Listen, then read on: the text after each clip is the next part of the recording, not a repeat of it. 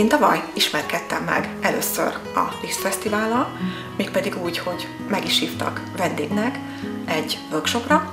Ez a workshop azt a kérdést tette fel, hogy vajon voltak-e, vagy lehetnek-e Jézusnak leszbikus barátai. Ugye a cím ezt el is árulja, hogy itt arról volt szó, hogy a keresztény identitást és a leszbikus identitást vajon lehet egyeztetni. Nagyon jó volt az a nyitottság, amivel fogadtak ott minket tényleg.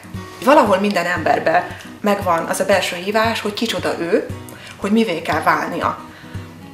Ezt a valamit, ezt a valakit megvalósítani viszont nem mindig egyszerű. Sokszor látom egyházi közösségekben, hallom prédikációkban, olvasok szövegekben, nagyon elutasító reakciókat, ami egészen méről gyomorból jön.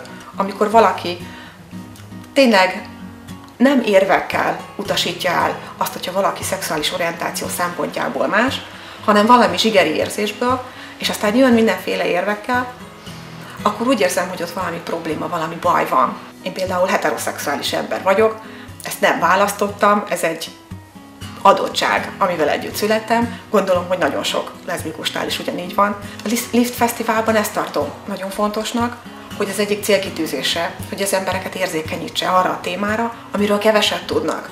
Talán tényleg egy ilyen fontos kulcspont a találkozásnak a lehetősége, az emberi sorssal, az emberi élettörténettel való találkozás, mert akkor egészen másképpen gondolkodunk arról, hogy mit jelent az, hogy leszbikusság, mit jelent az, hogy egy nő és egy nő kapcsolatban.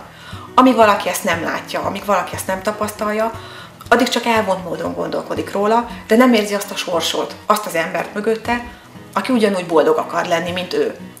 És hát ezért eh, gondolom, hogy ezt a fesztivált tényleg érdemes támogatni, Anyagi támogatásra azért van szükség, mert semmi ilyen közös munkát nem lehet eh, véghez vinni anyagiak nélkül.